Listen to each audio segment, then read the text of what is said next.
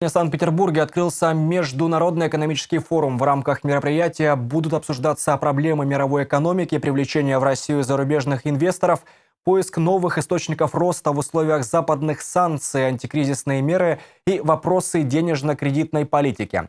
Президент России Владимир Путин встретится с главами крупнейших инвестиционных и суверенных фондов мира, а также с руководителями российских промышленных компаний. Предполагается, что на форуме подпишут около 70 соглашений с участием как бизнеса, так и власти, а также ряд крупных контрактов.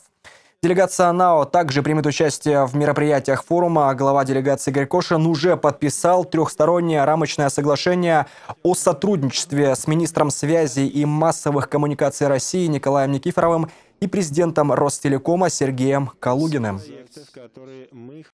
А сегодня такие соглашения были заключены с шестью регионами, в том числе с Минским автономным округом. И это позволит нам э, до конца года провести высокоскоростной интернет в шести населенных пунктах. Это Оксина, Лаборская, Тельвис, Кокоткина, Бугарино и Шойна. Нужно отметить, что изначально в графике подключения НАО стоял на 2018 год в планах министерства, но благодаря плотной работе как э, губернатора округа лично с министром Николаем Никифоровым, так и экспертов администрации компании Ростелеком нас удалось перенести на 2015 год – в программе первого дня Петербургского экономического форума обсуждение перспектив российско-японского и российско-индийского экономического взаимодействия, мероприятия делового форума Шанхайской организации сотрудничества, рассмотрение проблем во взаимодействиях между ЕС и ЕАС, а также усиление роли стран БРИКС в международной финансовой системе.